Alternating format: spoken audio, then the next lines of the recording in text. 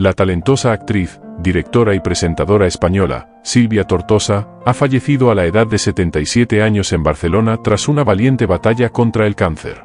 Su partida deja un vacío irreparable en la industria del entretenimiento, donde dejó una huella imborrable a lo largo de seis décadas. Con una trayectoria en el cine, teatro y televisión, esta querida y talentosa actriz fue aclamada por su papel en Pánico en el Transiberiano y Aplauso. Desde la Unión de Actores y Actrices de España, se expresaron condolencias y agradecimientos hacia la talentosa artista, destacando su contribución al mundo del espectáculo.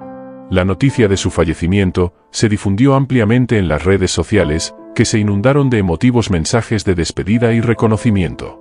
La agencia que representaba a Tortosa confirmó la causa de su muerte, destacando su lucha discreta pero valiente contra la enfermedad. Tortosa incursionó en diversos ámbitos artísticos, desde la actuación hasta la dirección de cine, pasando por la presentación en televisión. Su versatilidad la llevó a participar en numerosas obras de teatro y producciones cinematográficas, dejando un legado perdurable en la memoria colectiva. Además de su prolífica carrera profesional, compartió aspectos de su vida personal, revelando su diagnóstico de cáncer en una entrevista en 2019.